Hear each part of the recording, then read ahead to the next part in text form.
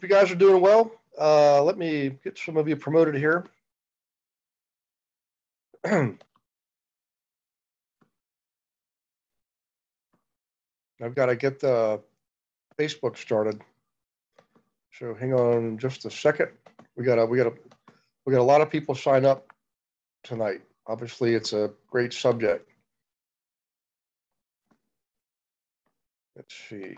So when you get the message, I'm promoting everybody, promoting you to um, panelists. As soon as you get that message, go ahead and uh, open up your video, and then your audio will be automatic. Casey Brown, good to see you, buddy. As soon as uh, Gina comes on, there we are. Can you hear me now? I can. How you doing? Just fine, sir. How are you? We're pretty good. I'm uh, promoting people right now, and uh, Gina will come on. She'll take over that role, and I've got to turn on Facebook. We brought we you know simulcast us on Facebook Live. So, um, okay, how things in Old Kentucky? Man, they're good. They're good. They're hot. Yeah, they're actually beyond hot, to be quite truthful. I think you're so, close to 100. Hang on. Yeah, there you are. Can you see me? I can. You you you were close to 100 degrees out there today, weren't you? Uh, yeah, not far. I have reached the point in my career where I don't have to be outside a whole lot, so that's definitely good. But yes, 100 degrees, maybe even more. Um, and I'm gonna not change my background just so everybody knows that I am in my truck. Um, okay. you know, I had this uh, down for 7 p.m. and realized it was 7 p.m. Eastern time. So we're going to wing it. We're going to go. We're going to teach. We're going to learn. We're going to talk. So um, don't let the background uh, fool you. Okay. No worries. Let me um, hang on a second. Usually what happens, I get a, a, flurry of text right about the time class starts, asking different questions like, where's the link? well, let me, if you want to, Casey, um, I'm going to go ahead and turn on uh, Facebook Live here, so hang on to your seats. And if any of you uh, have questions, well, first off, I want to welcome all the guests. We got lots of guests on tonight, and uh, we have a special, a special guest. You can see we call him Mr. Cool. His name's P.F. Jimenez from Massachusetts. Oh, P.F., put, put the camera back on you, man. Oh, good. He's at a dog park. I never saw you with, with sunglasses before. All right, I'm going to turn on Facebook Live, so hang on to your seats, and I'll be right back. You're you're muted, PF. You yeah, thank you. there you are. Yep. I'm dog sitting, so I had no choice but to be at a dog park. That's okay. That's a good place to make friends. Usually, yeah. Yep. And uh, this, I'm in the my mom's house, guys, back in uh, the mountains. So um, anytime it, you have to load something, it takes a little bit longer. So here it comes. Okay, Casey Brown.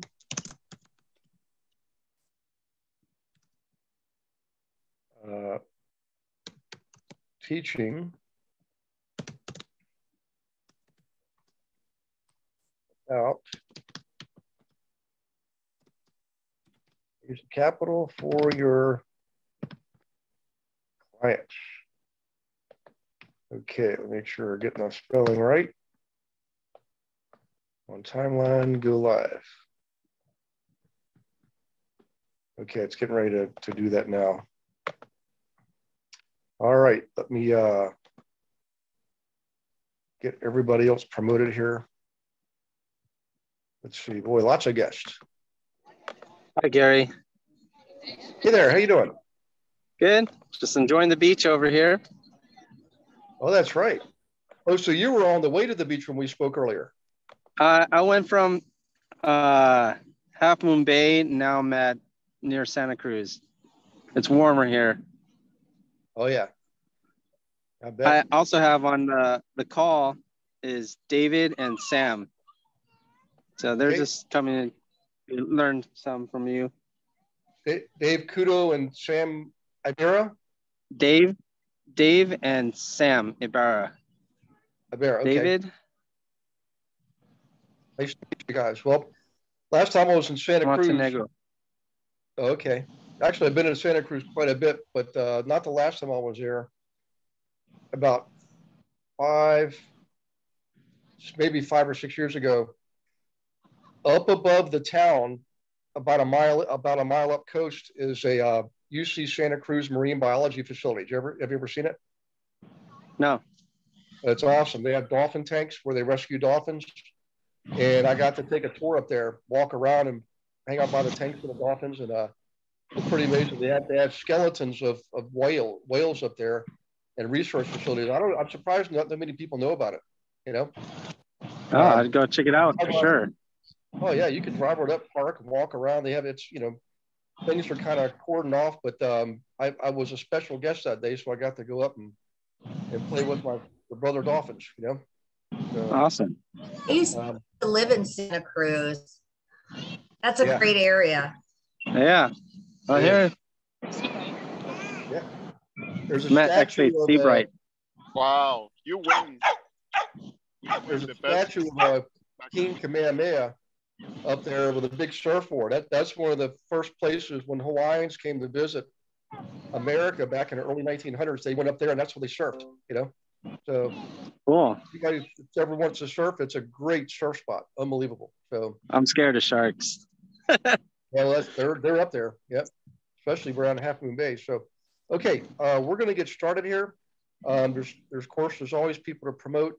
Um, again, if, if, you see the message you've been promoted, go ahead and please uh, uh, turn on your video. We like to see everybody here. And I'm glad to see you guys, uh, team members and guests. Um, and go ahead and go ahead and mute yourself if you're not speaking. It'll help uh, uh, clear out all the background noise. And we're gonna go and get this started. So we got a great guest tonight, Casey Brown. I met Casey probably two weeks ago when I interviewed him on my podcast. And I thought, I want to have you come teach a class for us. So Casey is also a fellow investor agent, okay? And he has a another business where he helps his clients raise capital. Right, I'm gonna have him ask him to talk a little bit about that. But while we were talking, I realized he, he's an icon agent, and he does, he's done quite a number of transactions, a lot with investors, just like we do. And he's in an area that I'm somewhat familiar with. And um, by the way, Kentucky has a lot of great uh, areas to invest in, guys. If you're if you're um, looking for places to deploy your your assets or your clients, uh, this is definitely one of the places to be. So, so Casey, first off, uh, thanks again for doing this, man. I know you're a very busy guy, and I know how lucky we are to have you on to help us teach tonight. Well, sure. I'm glad to be here, and hopefully, we can bring some value to the guests. Um, I'm not, sure you said you had welcomed uh, some of your team as well as guests, so I'm not not sure quite what the mix of folks we have in here is, but um, but welcome, and I'm glad to be here to maybe talk a little bit about uh, funds and fundraising and fund of funds and how that uh, how that stuff kind of works, and and then maybe we can get into it. So cool. Well, yeah. So we have we have agents on the night from uh, multiple brokerage companies, or eXp, KW, uh, Remax, Berkshire Hathaway, exit. It runs the runs the gamut, and uh, many of us do invest, and all of us either work with or are looking to learn to to work with investors. Okay, so uh, okay. this was a great crowd for you. But, but one thing, Casey, if you don't mind, um, there's a there's an extreme extremely strong connection here between you and a lot of folks here, and, if, and that's the fact that you you are an investor agent and you've, you've done quite a number of transactions, like I mentioned. But really pointedly, you mentioned when we were doing the podcast interview how important it is to build a community around yourself. And I wanted you to touch on that because just a little history. When I when I was in production 100%, one of my absolute best techniques was to run a, a monthly investor club. I started off in a library with like six people and thought it was a failure. And unfortunately, I had a broker kicking my butt saying, no, you stick with it, you stick with it. And sure enough, you know, three months later, we were we were up to probably you know two dozen people. Five months later, we're 75 people. The librarian said, "You got to hit the road. You got too many people. Got to find a location." Went to a hotel. Then it went to 200 people in a year. Now, fast forward, we attempted to do this um, almost two years ago, it, right when the pandemic had started. It was the fall of 2020, and it was in full swing. we said, look, we got to do something. We can't just sit back and and uh, not do something for our, our, clients. We decided to try it online, and we had some success, but it wasn't anything close like what it is live in person. So I've been having the thought in my mind. I think this fall we want to start having some in-person live sessions around the country. And then you mentioned, without me prompting you, how important it was to build a community around yourself. So would you mind touching on that just briefly first, and then we can move into the, the capital raising part of it? Sure. Um, let me make sure I'm un, I'm unmuted. Everybody can hear me okay? Yep. Okay, good. Um, so yes, from being a local agent and trying to find your way and of course i don't is there many is there any beginners in there's no beginner agents in here is there it could be a couple absolutely yeah okay okay um beginner with the thing i got you um so the importance of building a community is you know i'm from a town or our entire county has about 40,000 people now i want to I say that to lead to the point that, uh, like Gary said, I am an icon agent, which is, which is pretty high production for such a small community of, of potential clients, I guess you will.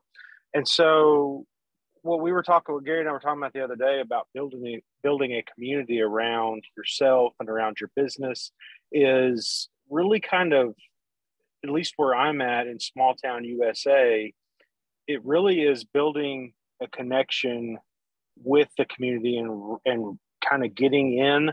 So I'll just tell you the way that the way that I did it, and then you can kind of take this for what it's worth. So the internet and Facebook and social media and so many different places are looking for content. They're, they're like we all know that we are the content on Facebook and we are the content on Twitter and we are the content on Instagram and so on and so on. And so when I first started looking at what I could do to differentiate myself and where was there content that I could use and just for for us in the south and maybe it's like this elsewhere but like I remember when I was a kid my grandmother lived for two things well three if you count us but she lived for two things.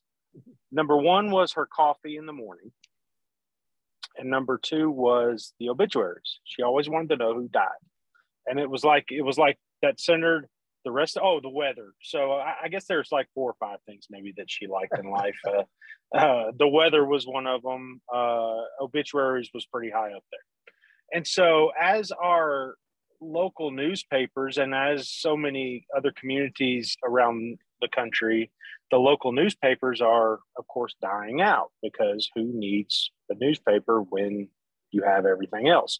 And one thing that I noticed when, as the newspaper was was being led out back uh, to be put out of its misery, was that there was a certain demographic of folks that were missing specifically the obituaries because everything else that's content driven takes some type of um, you know you have to have an editor and you have to have there's so many other different steps that have to take place the obituaries was something that didn't that was already edited before it showed up. It's really unclear as to what the copyright intentions are with obituaries so it's not necessarily plagiarism although it it kind of buffs up against the, that line. Anyway long story short it really worked well for us. So i actually called we've got like six or eight funeral homes in our in our whole community. And so I called them and I actually got their permission outside of of just copying and pasting. And I said, if you don't mind, we'd like to get your obituaries, get you to email them to us. And do you mind if we publish them in our Facebook group? Oh, absolutely not. That's perfectly fine.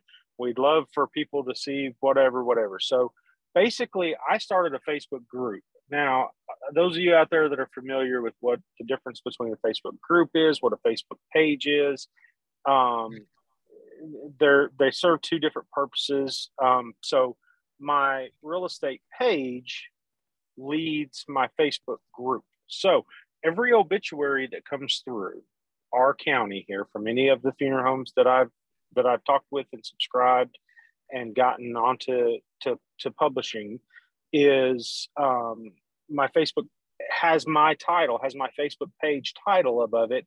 And it's, you know, we share condolences, then it gives people a place to go.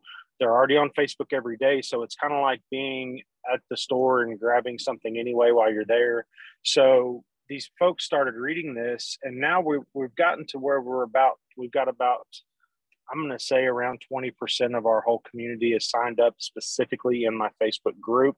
It's a demographic of older folks who are looking to uh, I don't want to say what the next step is for these older folks, but I think we all know that there's at some point they're going to sell, uh, so on and so on and so on. And so, what that that really just kind of led me to believe that, you know, these communities are so important. Now, I take that, and obviously, this is there's investors in here, and there's agents that are uh, agents of of commercial real estate guys, and so that's a little bit but I guess I bring all of that to say, you know, build your community around anything.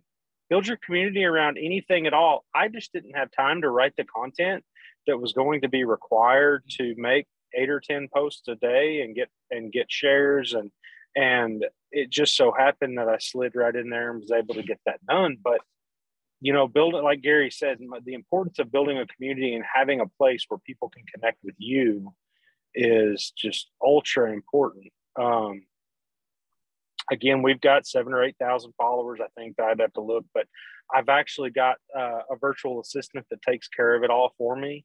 Um, and you know, in that couple dollars an hour that I pay her, she can she can run um, basically everything. She runs all aspects of our business. Uh, that's the, the ability to do all over the internet stuff like mailers and and all that kind of stuff. So um, we just threw the obituary posting and all that stuff kind of right in there on top of it. So it works really good. It's really cost efficient. It's really it's really a lot of things.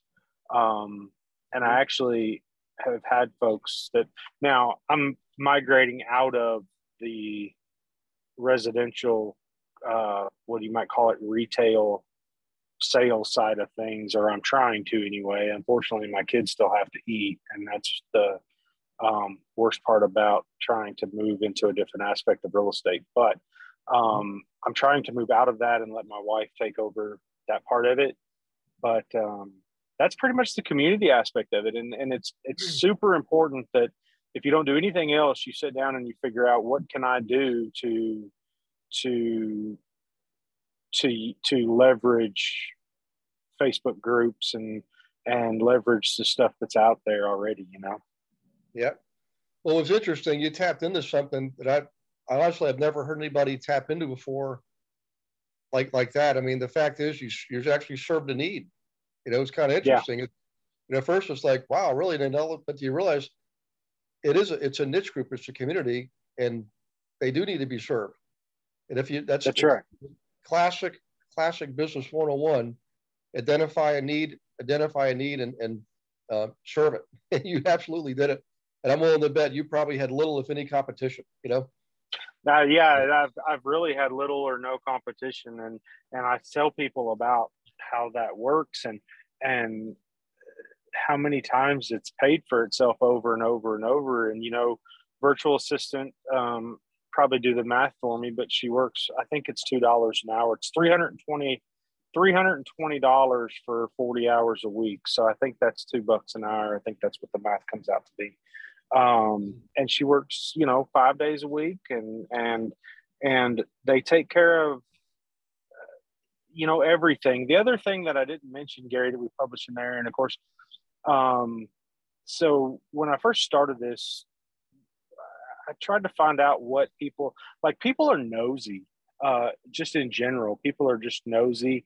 They want to know. They want to feel like they're in the know. And so we started publishing the deed transfers too um, so my my um, virtual assistant will go through our courthouse, and of course, that's probably a little easier for a smaller community than it is if you were talking. You know, you get much bigger than our community, it would be difficult and possibly not even cost effective to do that. But again, it brings it brings back the idea that people can be nosy. I don't care to publish. It's something that's already published out there anyway. and you know it just it just again it provides a, a i guess a service if you will. Um, one thing that um, you know when when it first started i was getting messages from people like um, why are you what does what does obituaries have to do with real estate? And you know people being quite ugly and that's how i knew we were really onto something. Um, and that's it's unfortunate that humanity is that way but anytime you start getting resistance and people saying or thinking that maybe it's not appropriate or what are you doing or this that or the other that's typically when you've hit that's typically when you, you you're getting pretty close to figuring something out. Um, everybody kind of safeguards that. But you know we we've done it and it's it's really again it's became a, a nice place for people to leave their condolences. You know we average um, underneath the group post in a or underneath a post in a group it'll tell you how many people that it's reached. And and not that it's not that i look i certainly would take no reach if there was never another young person to die or or something like that. I would take no reach at all. But especially when there's a, a death in our community that's of, of somebody that's young or whether it was an overdose or something like that. I mean, our reach is getting 20 or 30,000 people per post. And again, I, don't, that's not, I don't want that to sound like I'm, I'm being vain or being um, like, but, but it's just the, the bottom line is, is that before now the newspapers were, were, had their name at the top of it and they were getting whatever you know clippings or whatever people were doing to to to um, to discuss obituaries, and now you just kind of unpiece that, you know, and give it and give it away. Yeah. Hey, Casey, uh, Melanie Abraham asked a question. Um, she's a, a Texan, and question is, uh, how, what what service did you use to find your VA? If you don't mind sharing that.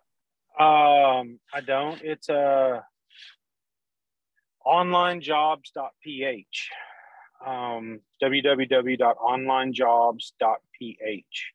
Um, it took, so as Americans, for some reason, it took me a long time, especially in the South, we're conditioned to be leery of just about anybody that's not us. Um, and so when I first met these folks, the Filipino people are are very um, they're just a very wonderful population. And i think that there's uh, the the girls that work for me are are much like family. Um, i would do just uh, you know we we can't send gifts very readily for birthdays and such as that but we try to you know we try we can always paypal money and um, the girls can get their kids something or you know whatever we need to do to but uh, onlinejobs.ph, the, the Filipino people have been very, very, very wonderful to me. Um, and, and have always, uh, have always met whatever call I've needed. Um, especially my girls. Now, that being said, there's a few things that you need to be aware of. Um, you, you, you, when you're dealing in folks overseas, there is that element that you can't necessarily like put your eye on them. Um, so you don't know. Somebody might tell you her name is uh, whatever Sherry uh, or something like that, and it really be some some bot somewhere. So you really got to do your due diligence and make sure that you check in with them. But it's onlinejobs.ph. Um, you can, uh, you know, you need to put a in your job postings and stuff, you need to put like, uh, if uh, you know if you're interested in this job, make sure you put the word uh, Gary, put the name Gary Wilson in the subject line when they reply. put that on down in the description so that you know that's a real human.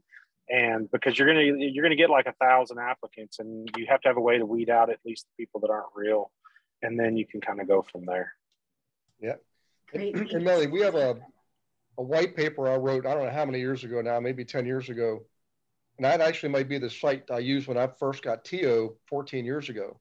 And it was like two or three bucks an hour. And after the first year, like, TO, I'm giving you a raise. And he said, How yeah. much? I said, Five bucks an hour. And It is a, you know, that that's that's like a 60% increase. I said, dude, you're worth twice that, you know?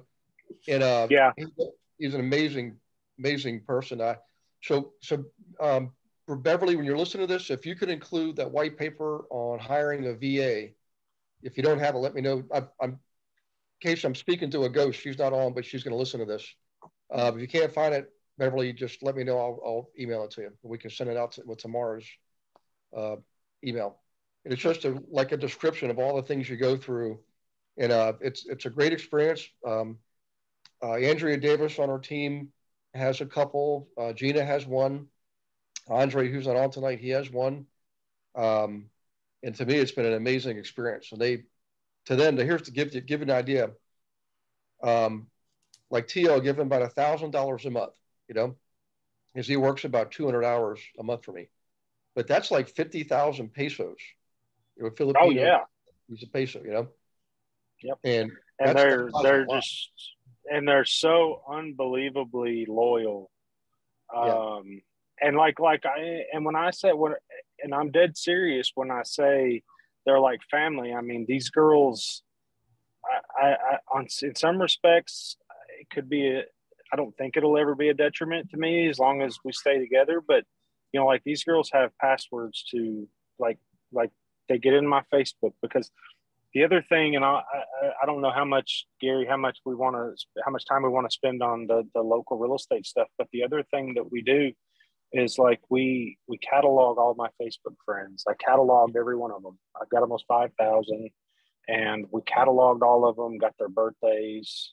Um, send out birthday. You know, every day. And and the first question that I get a lot of times is is well, how does she handle your mailers? And and she doesn't necessarily handle the specific uh, mailing itself but what she does is, is she makes sure that the address is up to date and then she posts in google she posts an envelope in google drive where or a, a, a string of envelopes for everybody's birthday on a specific day where all we have to do over here is do the is do the the mind numbing work of just hitting control p printing off the envelopes stuffing and mailing them uh, so all the research and everything is done on the back side before we ever get it. So we know that it's right and everything's done and we just got to roll. Yeah. Yeah. Appreciate that. Um, Karen Green's asking, uh, do you embed a page within a page on Facebook? And also, if you would mind, if you could type in the, I know you're on your phone, but if you could type in the chat box it, I just asked, is it onlinejobs.ph, all spelled out just like that? That's right. Onlinejobs.ph. I believe that's right. Karen, I'll put that in there. And if I'm not sure if I understand her question directly, exactly, but she's asking, do you embed a page within a page on Facebook? That, that's your yeah, question. I, I'm not, it's a page within a group. Um, that's probably the best I can, um, that's probably the best that I can come up with is a page within a group. And um, so I'm not really sure what she means by a page within a page. Uh, that could need some context or something behind it. There could be something there I'm not getting. Um, but uh, but it's it's the page, and then you link the page to the group.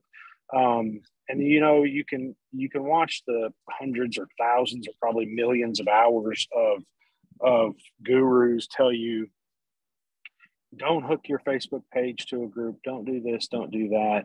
And it helps you get just a little bit more reach. And honestly, the way you get reach is is by just putting the work in. You can you can not do the things that the gurus tell you to. And any of us that have been in business for any amount of time knows that very, very, very rarely is there an actual shortcut worth taking.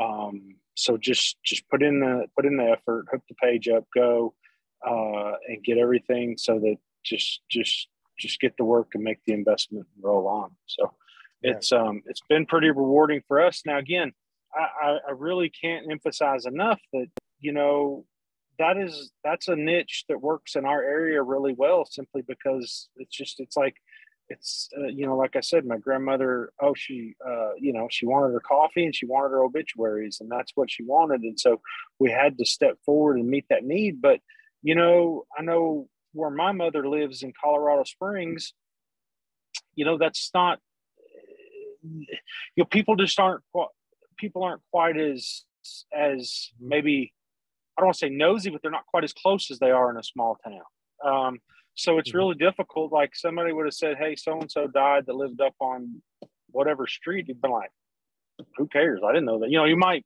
but it's just it, it, you just have to find what works for your community. Some some people, um, and that was the struggle that I was coming up with, with with newsletters. Is we were in a smaller community, so you know, there again for newsletter content, we didn't hardly have anything going on. I mean, you know, you tell about Bubba getting arrested because he was drag racing Saturday night. Other than that, it's like there wasn't anything.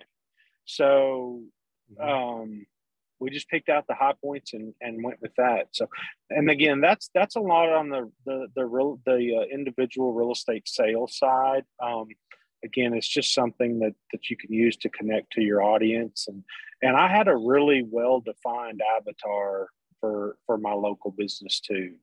So mm-hmm. that didn't that helped tremendously. Yeah. Well, I will give you guys another hint um, or tip on Facebook, excuse me. You can actually create lists. So on your personal page, if you have a lot of friends, Facebook friends who are fellow agents, for example, you can create a list of just the people who are agents. And then when you're doing your, your marketing, you're putting a post out there, you can direct it just to the agent list. And you don't have to then send it to everybody, carte blanche, which is what most people do, then all your other friends who are non-agents and relatives don't have to see all the stuff.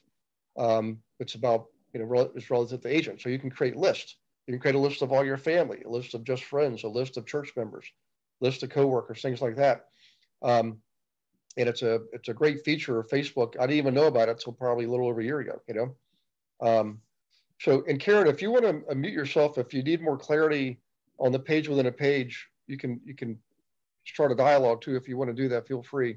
Um, oh no, um, he, you know what, he, uh, Casey, you answered my question when you said oh. you had a link basically to a group. That that that clarified everything. Thank you. Yeah, and the other thing that you need to keep in mind too with these with these girls, and I say these girls, uh, the the VAs is, is you know they're all admins of all my pages. They're all admins of all my groups, um, mm-hmm. uh, personally and through the page, so that uh, we just have some backups within backups. Because if you're if you're as I'm sure most everybody is is familiar with, um, Zuckerberg will smack you every once in a while, and if you get smacked and you don't have things kind of tied up, you don't want to be working for nothing. You know what I mean? Mm-hmm. You don't want to build a Facebook group only to lose it because you didn't have you didn't have something tied up where mm-hmm. you could get back into it. I guess is what I mean. Yep. Um, so, well, I'm going to check for questions here again, but if you want to, Keisha, let's go ahead and we got uh, we're about halfway through. Let's go ahead and switch gears.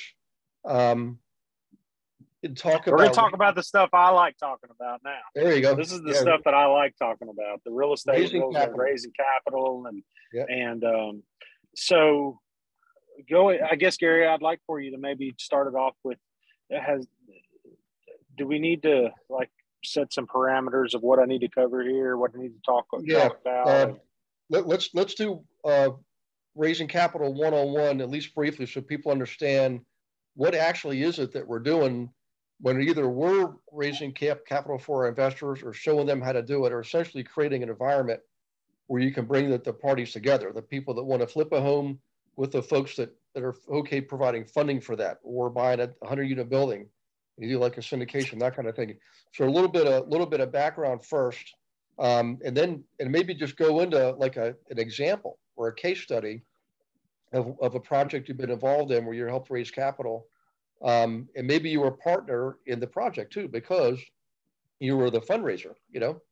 So yeah, so I, am gonna. I have a quick gonna, question, Casey, sure. before you get started. Yes, are you going? Are you going to touch on also um, bringing people to you versus you advertising out? You know, because of accredited investors and things like that um I, you know and, and, like syndications and joint ventures obviously the way you approach them is different than if somebody's coming to you right i'm actually so, yeah and so when we start talking about 506b and 506c's and you start looking at it from so so i'm gonna I, I know how we do it and that's what I'm gonna. T- I'll touch on that as to there's there's um, as my grandfather used to say, there's a thousand different ways to skin a cat, and so everybody has their their own best best use, their own best way of doing things, their own their own preferred methods, if you will.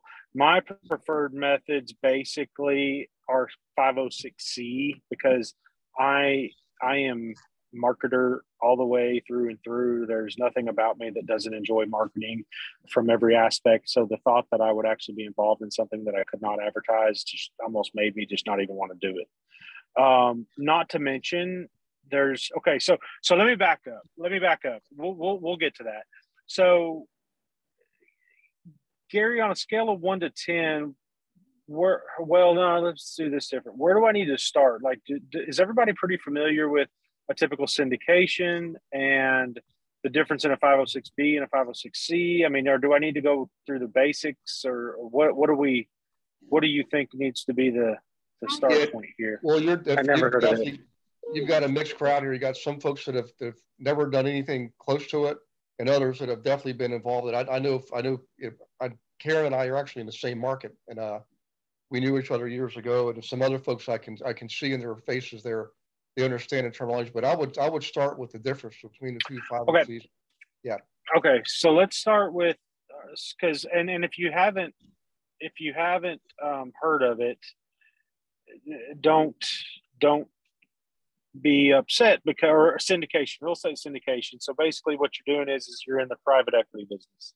Um, the private equity business basically means that uh, if you have a if you have a, let's say you've got a, a hundred unit piece property and or a hundred um, a hundred unit piece property, yeah, and it's a it's ten million dollars, okay, and the bank is requiring you to put down twenty percent. So you need two million dollars in cash to put down. So basically, what you do is is you put together a syndication. You go out and you call on the people uh, you call on people to say, hey, I will give you a percentage of my LLC that's going to own this 100 unit complex. I'll give you a percentage of the LLC that's going to own this complex for you to, if you'll contribute, like let's say $100,000 towards my $2 million need, toward my $2 million down payment. And so what you do is, so now you've gone out and you found 20 people that will give you $100,000 a piece as an investment. You've given them a percentage of your LLC. Now, the difference, the where we get into the weeds a little bit here is is the stuff is now you are falling under the regulation of the SEC, um, Securities Exchange Commission, and the Securities Exchange Commission is is cool with us doing these things. Uh, they they fall under uh, Regulation D of the S of the SEC code. And the and the SEC is perfectly fine with us doing this because these are not hard these are not hardly profitable enough to go through a full IPO process, and they're too profitable and too complex a lot of times for just to just put them out there and say, "Hey, go do this." So, what they tell us is, and their guidance says that there's two different types of syndications that fall under regulation. I'm trying to make sure I don't get this confused. Regulation D, and and you can go under the 506C, which basically means you can advertise, you can put your your need for capital out, you can put a billboard in your backyard and get money from anywhere you want to get money from advertised. But the people that invest in the 506C with you have to be what's called an accredited investor. Now, an accredited investor is a lot of can be a lot of different things. Without wasting time on that, I encourage you to Google what an accredited investor is. I know there's some net worth uh, minimums, there's some yearly income minimums, um, and those kinds of things. So basically, what they're wanting to make sure is is that you are financially secure enough. If you were to invest $100,000 with me and that investment went to zero, was absolutely worth nothing after three years, is that your grocery money? Basically, is what they're getting at. Okay. Now, a 506B is the is the alternative to a 506C. A 506B syndication or capital raise, basically that you can you don't have to you cannot advertise it anywhere. It cannot be advertised. It can't be put out anywhere. It can't be you cannot do any advertising. You can't do anybody. You have to have a prior relationship with the person that's investing, and they can invest as little as you as you want them to. They can invest five thousand dollars if you want, but you have to have had a prior relationship with them. Now, there always begs the question: Well, what consists of a prior relationship? And again, a prior relationship is, you know, the SEC doesn't have a defined you have to have known somebody this long or you have to have sent somebody this many emails a prior relationship is basically saying you have to have a verifiable prior relationship to these folks. So that's why they always tell us to keep emails and stuff if we're going to put people under a 506B to ensure that if the SEC comes knocking, we can prove that we had a relationship with them. Now, these syndications again, now Gary, I don't want to get too confusing here because I know this stuff can be a lot to bite off. The folks that know what I'm talking about have no problem up to this point, I'm sure. But the folks that that haven't had prior syndication experience could could get lost pretty quick. But I'm going to move on. Is that good with everybody? Yeah. Okay. All right. So this is where this is my specialty and again just like the facebook group i'm going to tell you the way that we do it.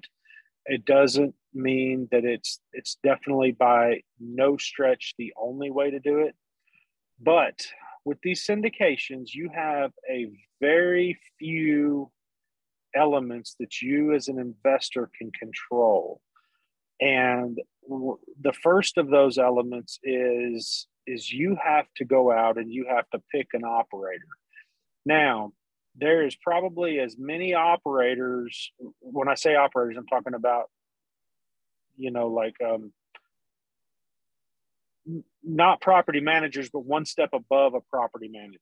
Okay. So if we're talking about an operator, we're talking about the boss of the property managers, which would be uh, the sponsor or the person that's actually doing the syndication, the capital raising, what have you. Now, there's probably as many of those people out there as there is grains of salt in my salt shaker at home, times a million, right? So, the first challenge that folks are running into is, is okay, I'm getting inundated and there's exactly 1 million operators out there. How do I choose uh, one operator? How do I know that this guy is who he says he is. How do I know that this guy knows what he's doing? What's the just because he says he has past experience, does that necessarily mean that he does? And on and on and on and on and on. And then that begs the next question okay, we're looking at different asset classes. You've got everything from car washes to self storage to multifamily to mobile home parks to ATM funds. You've got any any number of different asset classes that you want to choose um, to pick from. And, and what it does is, and what it does is, is it really kind of, again, dilutes the idea of what you're doing. And now you're spinning in circles. And if that's not enough, now you have to stop and say, okay, where do I want to invest? If a hurricane hits Florida and I'm in a couple of deals in Florida, you know you're not going to lose your money because you're going to be insured but the fact of the matter is is you might have to go without a distribution for a certain amount of time because your apartment buildings got blown away or whatever you know what i'm saying? So so now you've got geography you've got asset class and you've got um, operators and you have to as a beginning investor come in and say hey how do i pick what of these i want to do and so this is this is where the way I do it steps in, and what we're we are is what's called a fund of funds. And so, I guess I needed to give a little definition on a preferred return and a um, distribution. I know I've said that term a time or two. Um, so when we're looking at a preferred return, so when you make an investment into one of these syndications, the preferred return is not guaranteed, but the only get the guarantee that you have with a preferred return or the pref, as you'll hear as you'll hear it, um, is that you get paid that percentage before the operator or anybody below you in the capital stack gets paid. So, for instance, our average deal or most of the deals that we're in right now are about an 8% pref, something like that. And then, of course, you, you split whatever money is left over on a percentage basis.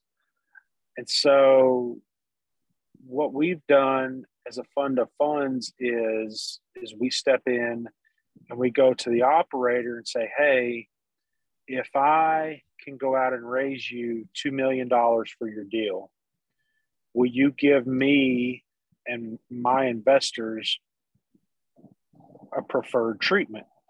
Which basically means, and if the operator says yes, so then we go out and we come to 20 different people and we raise $2 million.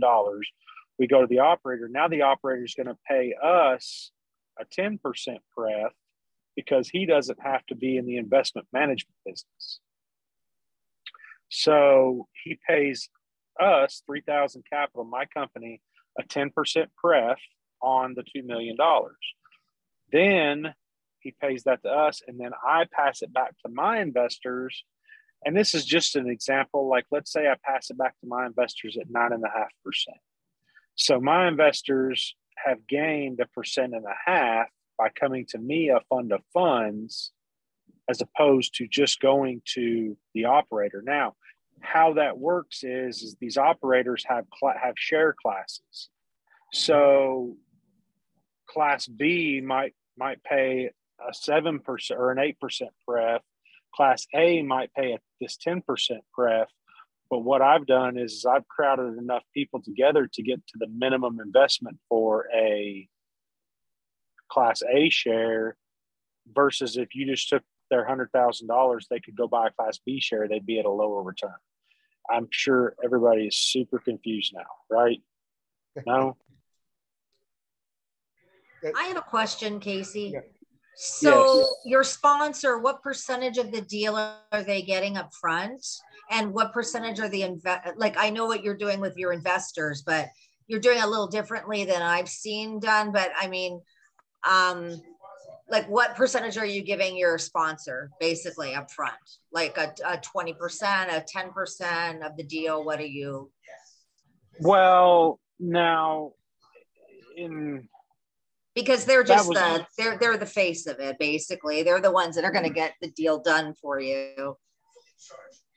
And, and I'll answer that. Every deal is different. I, have yeah. yet to see any of these, so it's so that's not really that's kind of like saying what commission do you charge to sell a house you know um, yeah okay every so deal is deal to deal is is kind of correct. a different unless you're going into unless you're going into a fund itself um, then yeah then you can well then even that's negotiable on a deal by deal scenario and that's another question I was actually going to ask is do you ever work with private equity funds versus taking, you know, your LLC or maybe not your LLC, your partnership or whatever, um, and going in and directly own it.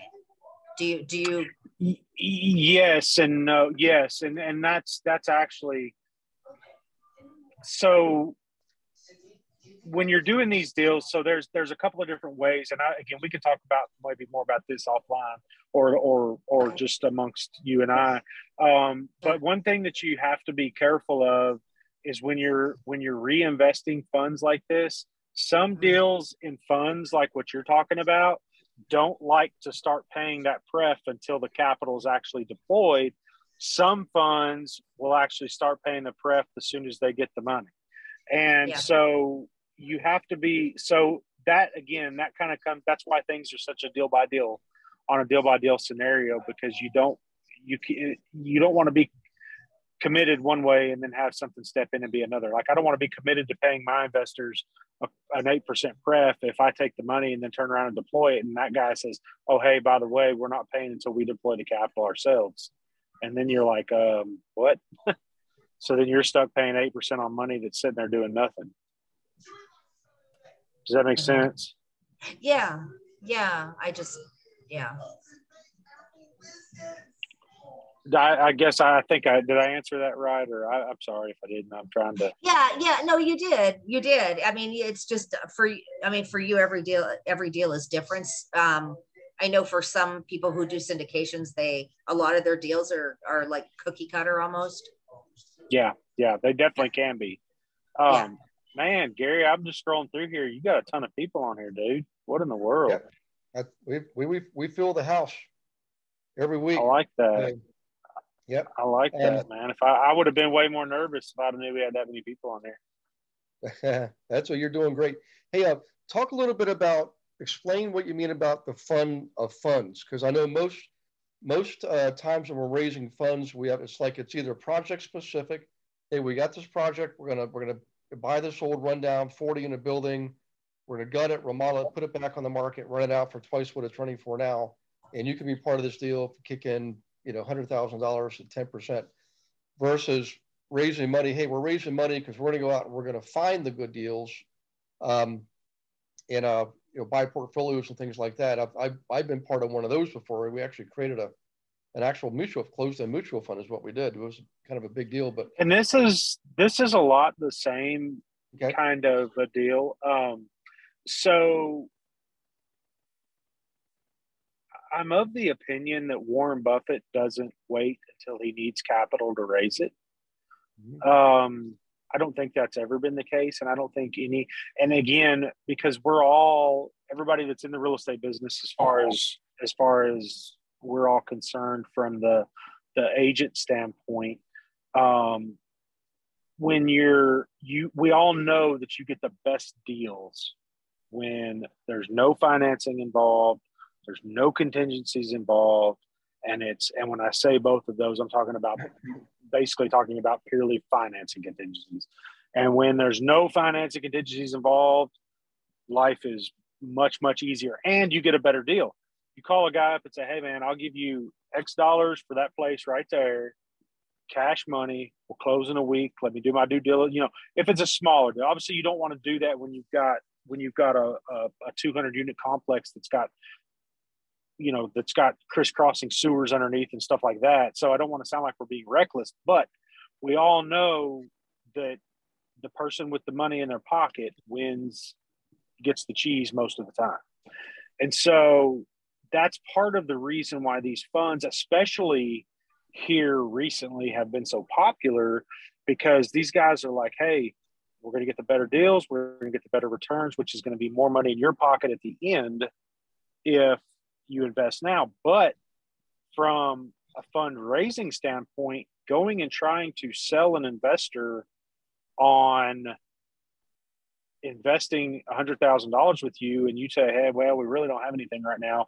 That money's just going to chill for a little while. That's pretty tough. That's like, that's like trying to push a boulder up a hill. You know what I'm saying? And so there, there's, there's six of one, you know, it's kind of six of one, half dozen of the other, depending on what you specialize in. But when I go and I say, hey, I have vetted these operators, these operators have been through a process. You know, I've known them for a long time. They're all very well connected. They're all very well um, um, experienced. They've done this. They've had tons of exits. Uh, they've had tons of profitable exits at that. And then I go to them and say, hey, you know, I go to the investors and say, we've got three operators that we invest with.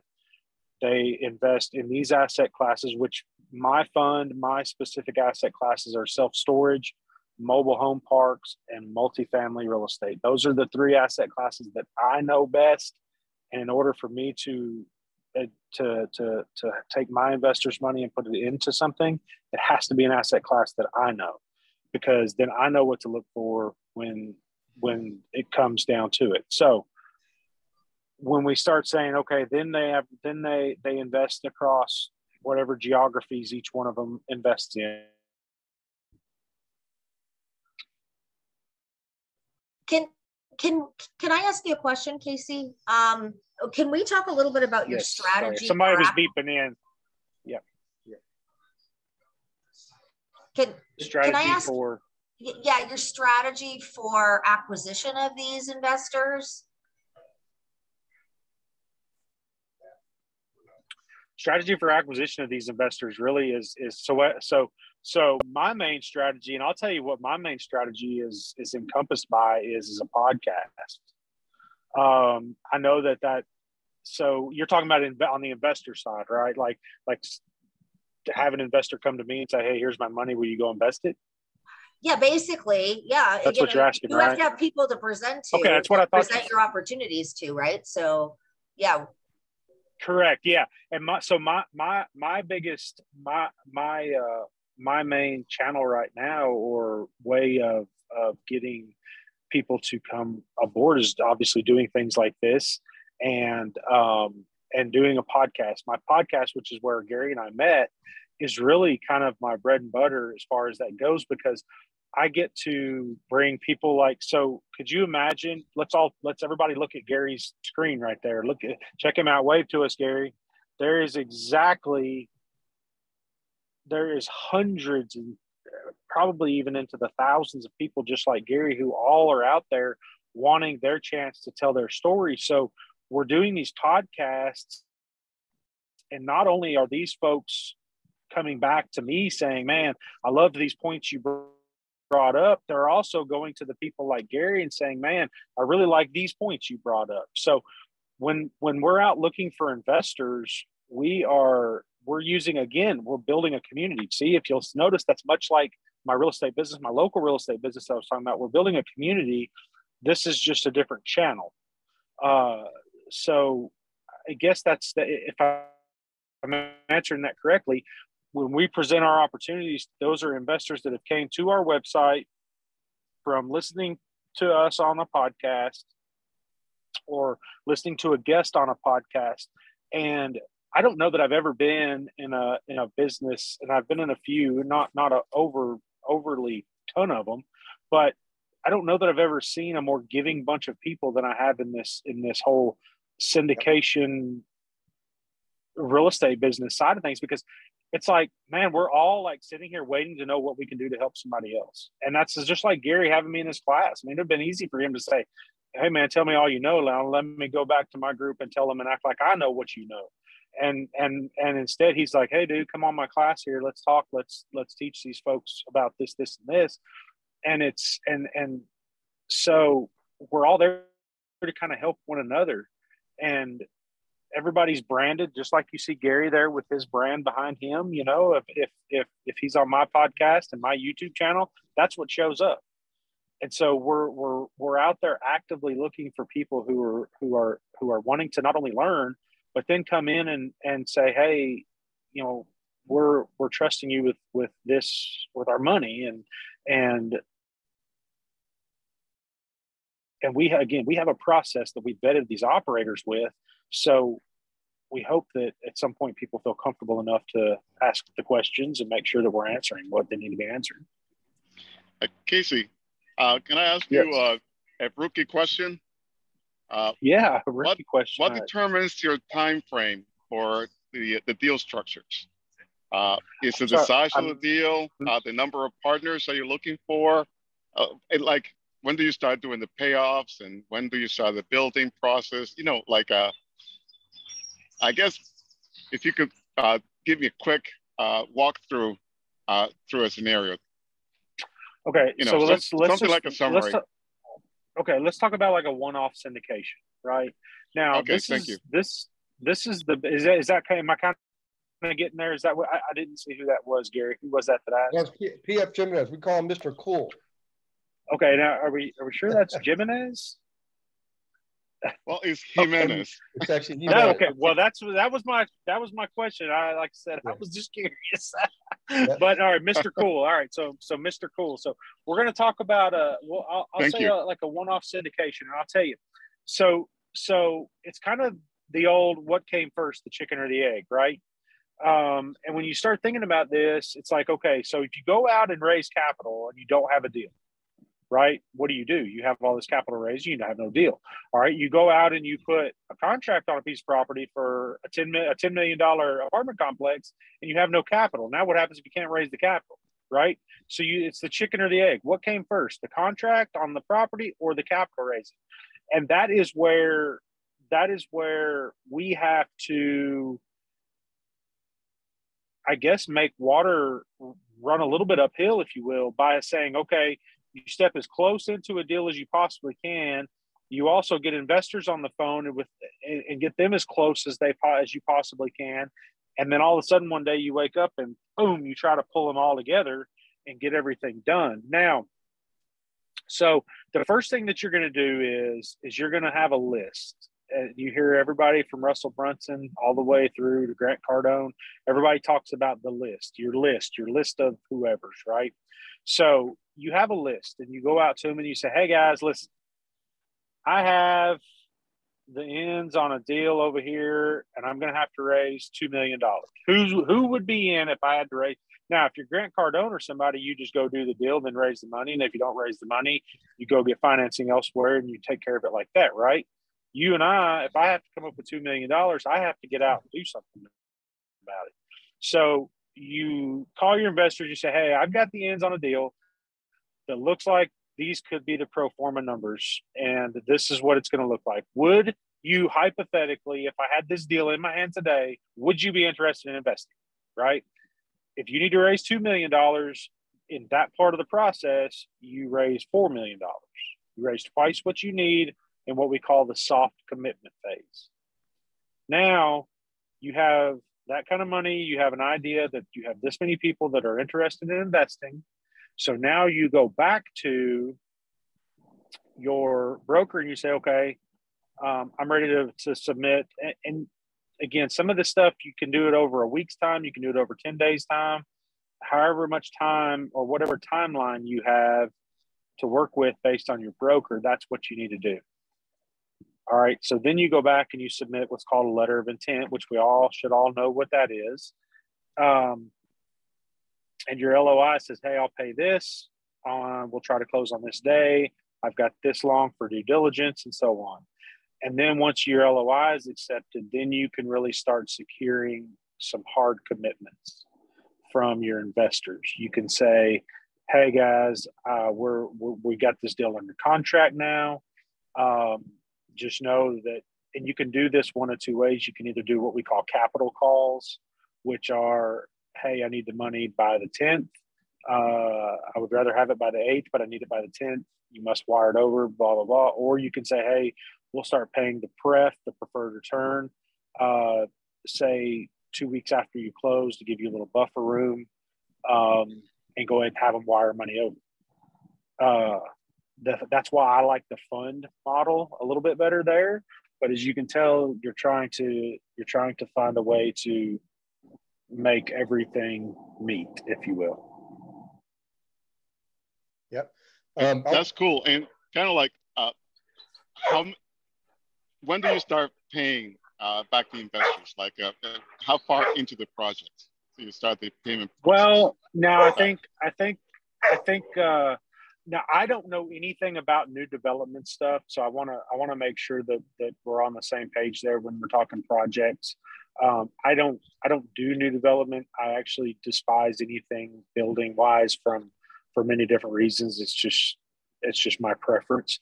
But um, when, for instance, like our fund of funds, um, we start paying our preferred return uh, the first day of the following month after the investment. Most of the time, wow. if you've got if you've got if you've got well, now that's our fund of funds. But see, I'm in with operators where we're going to get the pref immediately upon disbursement of the capital. So it's then on our operators to make sure that they place the capital in the hard asset and get it rolling. So it takes the burden off of us and puts the burden elsewhere.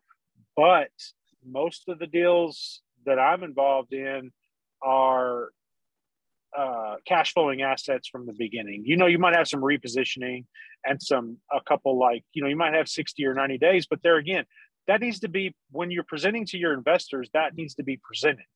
You need to say, hey, listen, we're going to close on this deal. It's going to be a minimum of 90 days before you get a disbursement because we're going to be doing this list of things here and re- and working towards a reposition of the asset you you don't want to take on your investors' money under the idea that they're going to start getting the return immediately, and then all of a sudden you're 90 or 120 days into it, and everybody's going, "Where's our money? Where's our money?" And you're like, "Oh shoot, I forgot to tell you." that we were going to be repositioning the asset. So again, that's all the stuff that you have to just be like disclose, transparent, transparent, disclose. I mean, like that needs that's what I think about every single day when I get out of bed. Transparency and disclosure, transparency and disclosure. And and a lot of times people are just like you all, and everybody's your damn friend until money becomes involved. Once money mm-hmm. becomes involved, then everybody is kind of your friend. They're not really your friend. They're not really not your friend, but they're just kind of like, and that's why I don't like personally, I don't like a 506B because I love my family for one. And number two, I love Thanksgiving dinner. As you can tell, Thanksgiving dinner is my favorite meal of the year. And Me I don't want to go to thanks I don't want to go to Thanksgiving dinner and have to tell all these people where their damn money's at and and why we missed why last month's return wasn't quite as good as the month before. You know, I don't want to do that. I want to go out and raise money from accredited investors, people that are affluent in the, the people that are that are affluent in business in general, and that's the way I look at it now. One part of a 506b that I must point out now, there's a term that's sophisticated investor which is which is one which is one tier under accredited investor. Sophisticated investor basically just means, hey, I'm not living under a rock. I know that this that this money could potentially be lost if if all else fails, and and and so that there is there is a, a certain.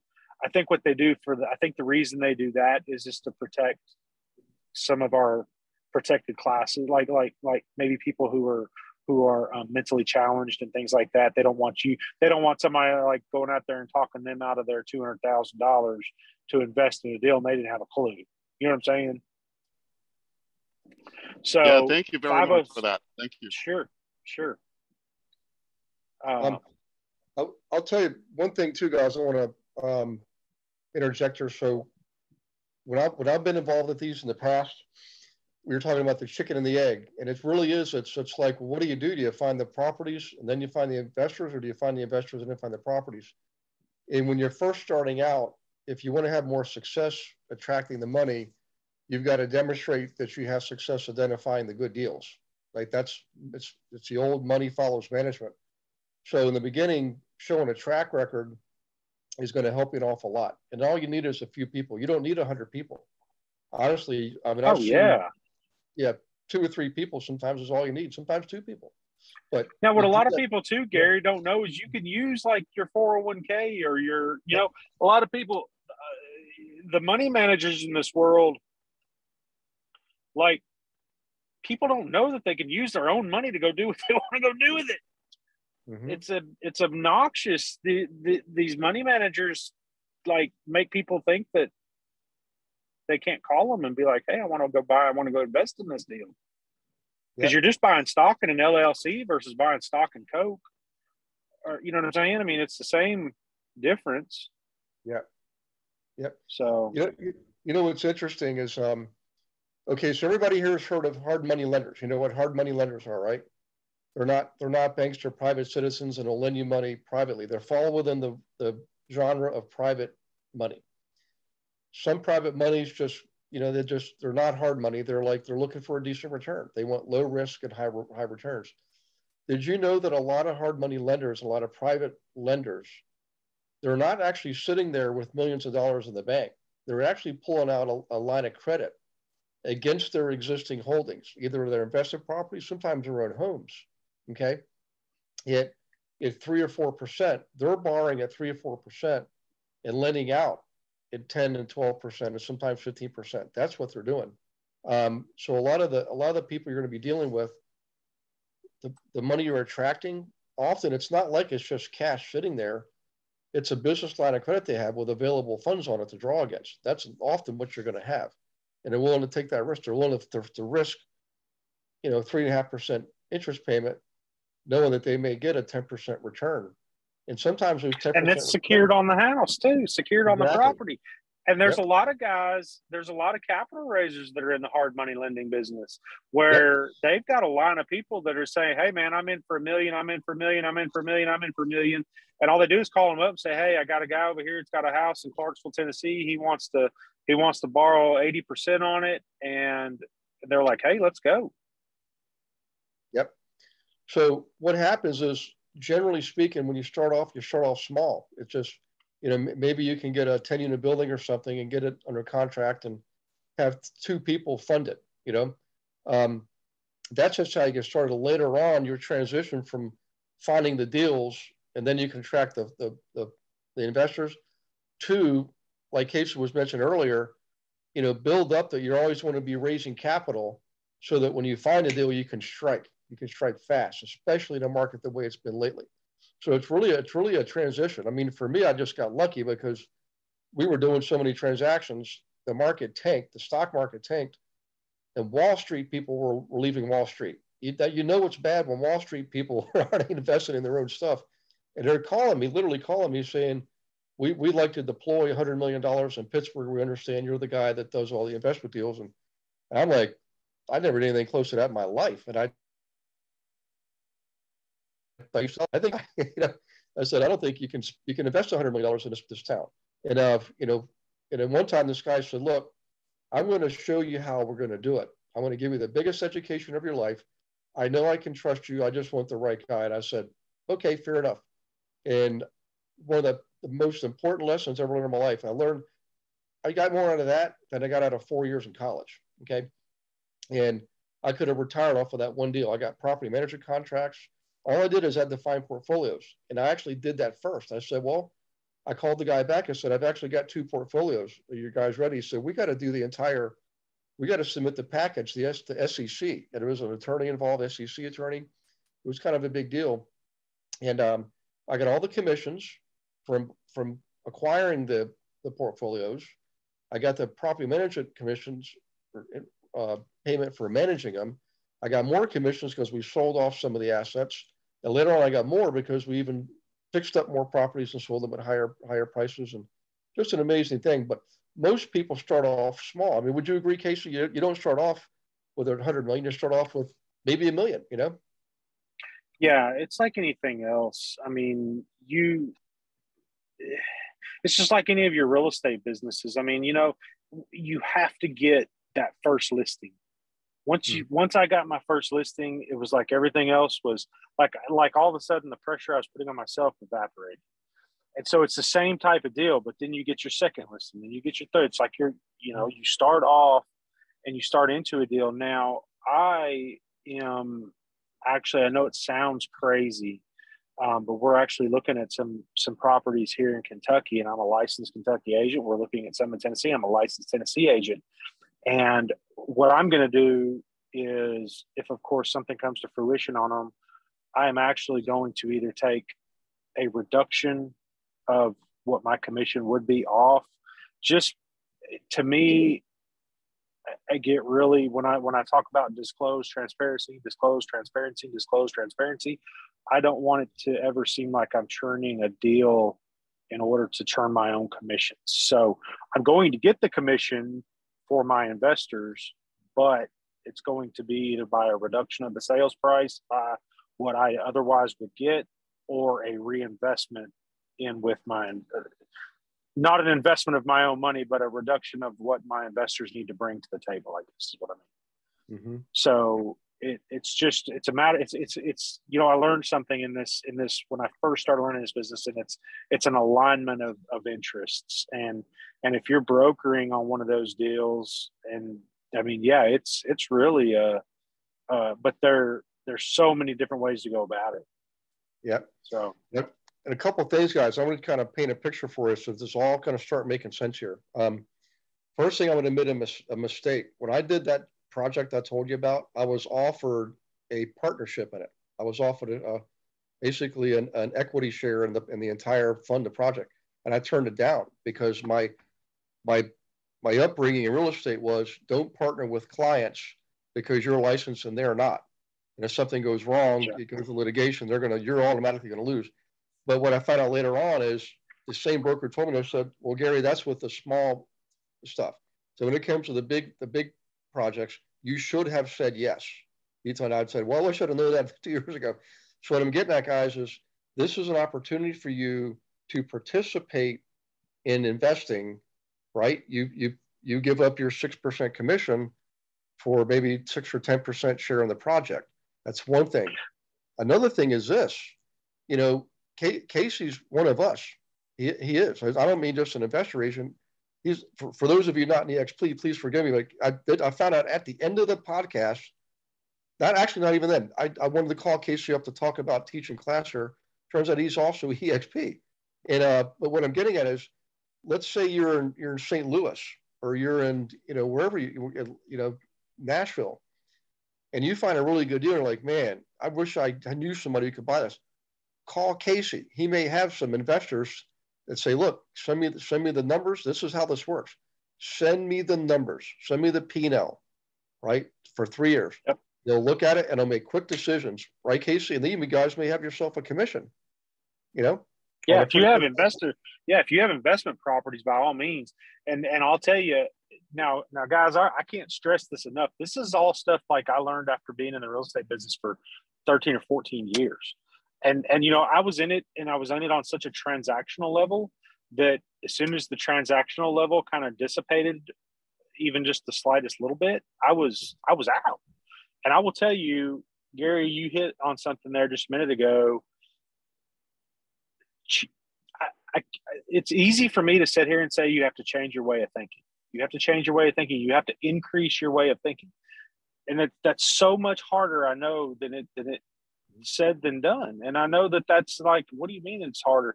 I'm just saying, it, it was so difficult for me to pass up a two hundred thousand dollar sale because I was off looking at a ten or fifteen million dollar apartment building. And at first, I was like, "Well, I got to stay here because this is the guaranteed money. This is the six. This is the three percent or six percent commission on a two hundred thousand dollar sale." But I was like, you know, we're either going to keep doing that, or we're going to go and we're going to we're going to get into something that that's like, like, because I kept hearing it. I heard it through my my whole career. They'd say more millionaires and billionaires are made in real estate than anything. And you know, and I'll be honest, I made almost four hundred thousand dollars in commission last year. Okay, and as wonderful as that sounds, and as great as that sounds, I know that I can't keep up at a rate like that. I can't do that forever. Mm-hmm. So, and at the same time, I'm like, wow, that's great money. That's far from billionaire or millionaire. Like, how many of those years you have to have to be a millionaire or billionaire? And so when I started investigating all this stuff a couple years ago, and it just all started making perfect sense, I'm like, that's how they make it. That's how they get recurring income. That's where the cash flow comes from. Which, Gary, that's the last thing I'm yep. going to let. I'll let y'all go. Uh, my podcast I mentioned earlier, which is where Gary and I met a couple weeks ago. Um, I would encourage everybody to check that out you don't have to check it out because I want you to come invest with us. You don't have to check it out because I want you to do to take any other action other than to educate yourself um, and and and learn from the very best in the business, everything from accounting all the way through to real estate agents uh, and, and, basically everything in between. So um, check that out. Yep, I'll give him another reason to listen to podcasts. Guys, guess who Casey's guest is tomorrow on his podcast? My guy, right there. There That's he it. is. And check it out. He's on YouTube channel. He's we're at a YouTube channel, but it's Cash Flow, Cash Flow Pro. Um, Cash Flow Pro. And uh, or you can and you can also we've got two separate websites. If you want to learn more about the syndication business, uh, Gary, I don't want. Am I allowed to tell to to yeah. say where they can go? Okay, I don't want to Absolutely. By all means, go to Gary first. I don't. I, am not. I'm not trying to pitch myself because, like I said, we're we're rocking and rolling. We just want to bring as many people and educate as many people as we can. But um, if you want to learn, listen to the podcast or go to the podcast website and just scroll through the episodes and learn, it's cashflow.pro. www.cashflow.pro. No dot com, so nothing. Just dot pro. And then just to learn more about the syndication business in general and get definitions and a list of basically everything that you could possibly need, you can just go to uh, 3000 capital.com and yep. uh, hit us up. I mean, you can always send us messages and Gary will get in touch with me. I can get in touch with Gary. It's uh, or like I said, this I've never I've never seen an industry that's more giving than this whole mm-hmm. like this whole real estate syndication, whole real estate business world. So yeah. Well, I tell you what, guys, I, uh, we'll start in a few minutes, but I just realized I want to recognize a couple couple new agents, uh, Thomas Roscoe and and where's Chad? Chad Ragland. I didn't realize you were you were in. Congra- welcome aboard, guys. Congratulations too. And, and if there's anybody else, guys, please let me know. I see some guests. Um, Sally Key, Sarah Black. Let's see. Armand's back on. Armand, good to see you, man. Mark Phillips, good to see you. Let's see and some agents I haven't seen for Les, Leslie Perez, all the way from Houston. Haven't seen you in a, we used to say, I haven't seen you in a coon's age. That's, that's old Virginia mountain talk. but it's good to see you, Leslie. Um, let's see, who else? Any other guests? Uh, Greg Covington, good to see you, man. Hot dog. Um, okay. Uh, I tell you what, guys, let's do a quick round here. Does this, what Casey was talking about, like not necessarily changing your way of thinking. I want to touch on this. It's expanding your thinking, right? This is your continual. Just just treat life as if life it's a big giant classroom, and your your only purpose is to, to learn as much as you can learn while you're here, and learn as, as fast as you can learn. And one of the things you'll learn is if you're thinking about this, you're being real cerebral about it. What these guys are doing has to do with velocity of money so it's one thing to put money in a CD and earn 1% for a year. That's, that's kind of pathetic. But that's a linear approach to investing. When you can increase the velocity of your money, so when somebody's doing a, a, a capital raise, they might be making 10% on, a, on an interest, interest rate, 10% return on the, on the loan. They're making a loan. They could also be an equity partner. So they have a share in the actual ownership of whatever they're buying. And they could also be a profit share partner. So if they profit in the case of an income producing property like a rental or a sale of a flip, they also get share of profit. You can have somebody be one or, one or two or all three of those categories at the same time. They can be just a, lo- a lender earning 10%. They become a, a lender plus a profit share partner or a lender plus a equity share partner, right? So you can skin that cat a number of different ways, but what they're doing is they're redeploying their money, right, as many ways as they can. So they may own another asset, they'll get a business line of credit against that asset, lend that money to this project where they're making a more return on that money, and yet their, their asset they borrowed against to begin with is still making money. So now they're using one asset to make money two different ways.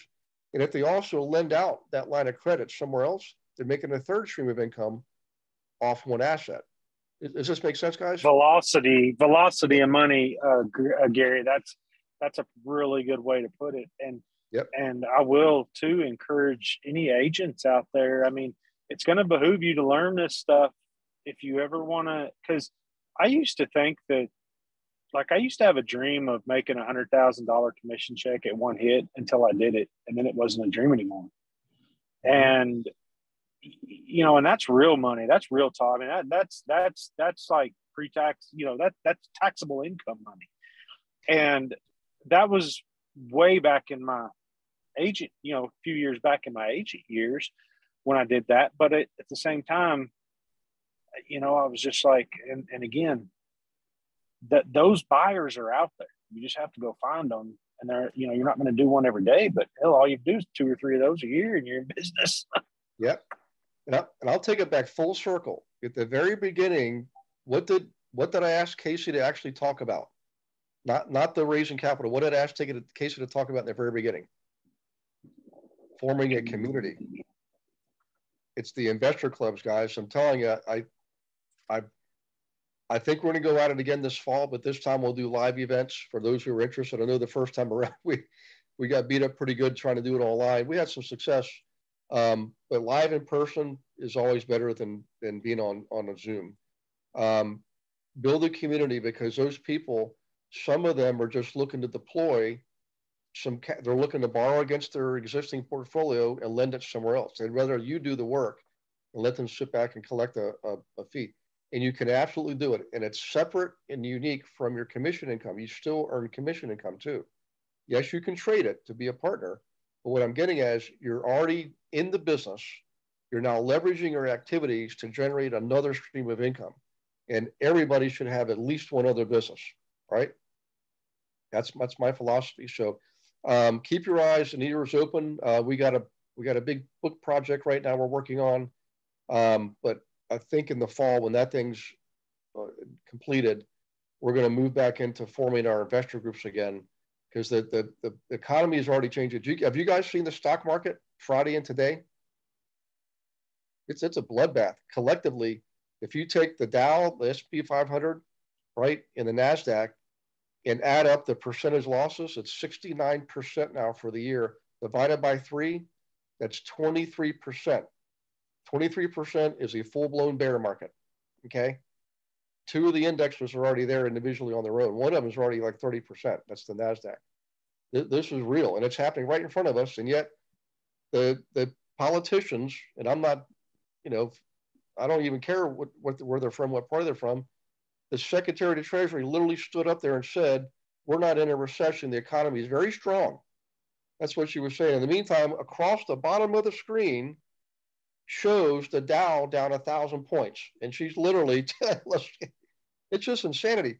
So you know, block all the nonsense out, focus on the facts, and the facts tell us we need to prepare. And and I've you know the time is the time's not tomorrow. the Time is now be prepared now, be ahead of the curve. Okay. So everybody's starting to get the, the, the my preaching on this. Yep. I, I tell you, it's going to be investors and new construction. New construction is hard, but I tell you that if you look at any recession, we're just getting into it. Who knows? It could be 18 months, could be another five years. I don't know. Um, but the point is, is real estate got us in the last recession. That's really not what's happening right now. Real estate's just going to be the bubble that bursts. But it's going to come out, it's going to bring us out of the recession too, because every time you build something new, you involve all the trades, involve all that material, the appliances, everything, carpenters, all the services, lenders, insurance, attorneys. Everybody benefits when you build a house. I think it's going to be affordable housing. That's what I believe. I could be completely wrong but I think that's what it's going to be. And investors are always, always, always there every single recession in droves. People coming out of the woodwork. Their uncles are investors. Their grandmothers are investors. Everybody's an investor. And now is the time to build the community and build those relationships. Um, any case, I know uh, it's about 8.30, guys. Any, any final thoughts or questions? Anybody feeling the juice? I'm feeling it. I'm going shopping, guys. I'm telling you. I'm getting the urge. I'm going shopping. You know, I can't wait. So, okay, let's check the question box one more time here. Uh, I'd love to attend that. Um, yeah, there it is, guys. Uh, uh, Cashflow Pro and 3000 Capital. Thank you, Tom. Oh, by the way, next week, uh, so Tom is going to host the class for us, guys, next Monday Night Live, because I'll, I'll, Gene and I, Lisa, several of us will be down at um, Orlando for the Shareholder Summit. And we've got uh, Michael O'Keefe is going to help come on and talk about his phone calling. He's a phone call guy, He doesn't send stuff in the mail. He's a phone call guy. Um, Targan's going to come on and talk about her Facebook uh, um, new construction campaign. Uh, I'm trying to think of who else did I have here. Um, had this all lined Mo. up. Didn't you have Mo? Mo. Uh, Mo Dupe, yep, the booklet. Thank you very much. And it seems like there's one more person. Oh, Betty. Betty in the letter. Yep. So that's four people. Tom, I don't think you're going to get through all four of them, but you know, uh, I think that's going to be a really good class. Anybody who's not going to be at the summit, definitely tune in because these are the campaigns that are working the best right now. It doesn't matter where you are, who you are, what state you're in, what company you're with, whether you work with investors or not. These are things that work for general consumers too. That's what's going to happen next Monday night. So make sure you're there and uh, and uh, give give Tom a big and Tom, thank you very much for doing that. By the way, I really appreciate you stepping up to the plate. You know, I got uh, volunteered for it. Well, that's true. Yeah, Beverly. Beverly's so smart. She just somehow or other presents things. It's just like, okay, I guess I'm doing it. You know? so my pleasure.